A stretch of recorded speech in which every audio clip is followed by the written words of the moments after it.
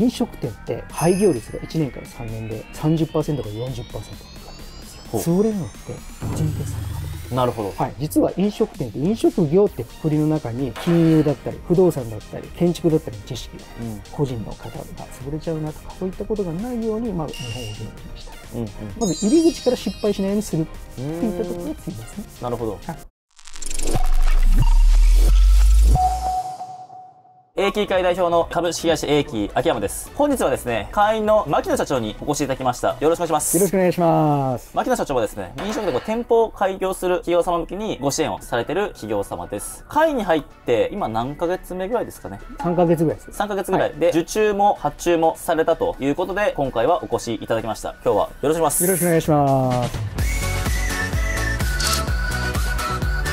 したら簡単に事業内容をご紹介いただいてもよろしいでしょうか？はいわかりました。株式会社 A2T 牧野と申しますよろしくお願いします。プロダクト名は見せつくと言います。これ何やってるのかというと初めての飲食店の方が、まあ、何やっていくか分かんないじゃないですか。飲食店を立ち上げたいと思った瞬間から開業までをサポートする、あとは開業してから運営だとか経営っていったものをサポートするっていうサービスになってます。飲食店って廃業率が1年から3年で30%から40%これってなんでなんです実は飲食店って飲食業ってくりの中に金融だったり不動産だったり建築だったりの知識が、うん、これ一人でできますかねっていうとなかなかできないので、うん、そのあらゆるジャンルのプロフェッショナルを揃えてるのがミセス君なので。これどうすればいいんですかって言った時に聞く人がいないと孤独なんですはい、そういった時に聞けるようにコンシェルジュ役だとかそういうふうに思っていただければというふうに思ってます。なるほど、はい、ありがとうございます。ちなみに今顧客数でいうと何社ぐらいが御社にご依頼されているような状況ですか？はい、去年の6月にローンチさせていただいて今月で80契約おおすごいますね。はい。割とお客様は順調に増えているような状況なんですね。それがですね、はい、順調なのがここ半年で、あそう最初のローンチした時の半年は、はい、もう1件ぐらいしか、はい、全然あのお客様に響かなかったんですけど、この半年で響く方法が分かった。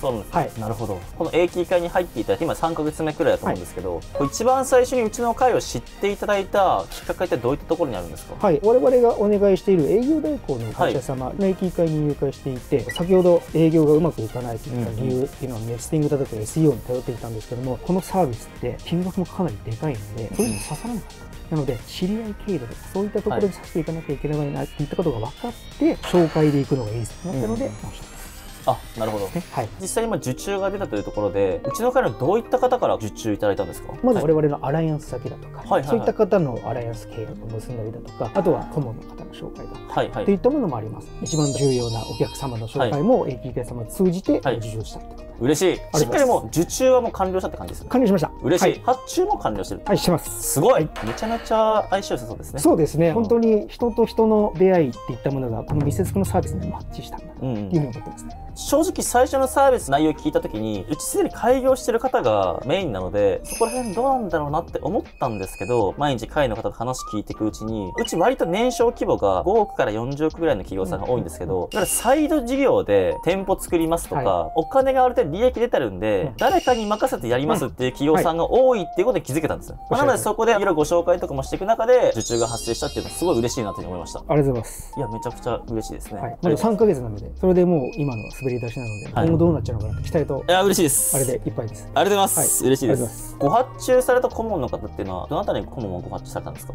さんっていう。あ、古徳顧問。はい。まだウェブ面談しかしたことなくて、はい、フィーリングです。古徳顧問は、なんかどういった部分に期待してご発注されたんですか？あ、まだお会いしたことなかったので、まずそのフィーリングと、はい、あとはリード数を担保してくれるっていったところと、はい、あとは月額の費用、はい、あとは契約年数が半年だったので、トライしやすい。なるほど。まずはそれでもう一撃でジャッジしました。なるほど。はい。まあ、でもいいですね。うちもコトッコもご発注させてもらってるんですけど、すごいね、いい動きしていただいたんで、本当ですか？うちの方から2倍おっしゃらさせてくださいっていう形で。あ、そうなんですね。今も2倍おっしゃらさせていただいてます。さすがでございます。はい。ちなみになんですけど、先ほどこう、飲食店の廃業率がすごい高いみたいなお話あったと思うんですけど、あれってなんであんなに高いんですか？そうですよね。例えば子供の頃に行ったマクドナルドあ、はい、まだ残ってますよね。残ってます、はい、再開発とかで移動してるんですけども、はい、マクドナルドってずっとありますよね。ずっとあります。最近でいうとスターバックスってずっとありますずっとあります、はい、そうなんですよ。潰れるのって個人決算の方なるほど、はい、はい、なのでこの30%から40%って言われてるのってほぼほぼ個人店さんなるほどですね、はい、逆を言うとチェーン店さんって潰れないんです。なのでチェーン店さんってどういうノウハウがあるのっていいったところがこの見せつくのサービスへ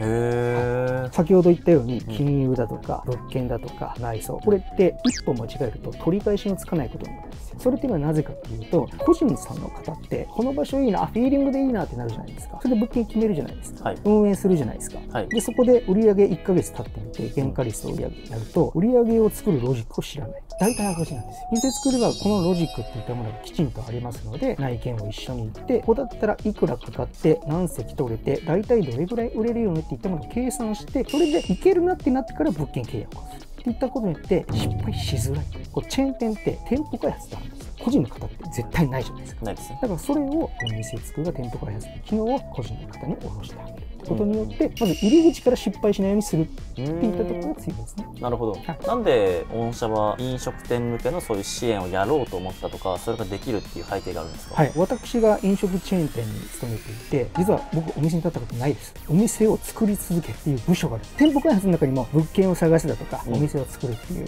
2種類ぐらいあるんですけどその中で僕はお店を作る。はい。なのでお店を出したいよって言った時によしこの物件見に行くぞってなっていくらかかって何席作れるのかっていったところの部署にいるので全盛期で200店舗ぐらい出した会社にいて、でそれ以外にもまあ FC だとかそういったこともやっていたので、200から300ぐらいの店を出してきた。ってことはですね内見はもうその10倍ぐらいなんですけどその10倍見てるのでその場所を見れば大体何席取れていくらかかるっていうのが分かるっていう経験があるなるほど。はい。そういった背景もあって店付きっていうサービスができたって感じなんですそうですね。すごくいいサービスですね、これからそのサービスどこまで広げたいとか会社のビジョンとか、はい。ミッションみたいなところってあるんですか、はい、どこまで広げたいかっていうのはまず今飲食店って日本で毎年2万出るんです。その半分は行きたいその理由ってそもそも何っていうとその廃業率をこれは下げたいんですよ。これが店つくのミッション。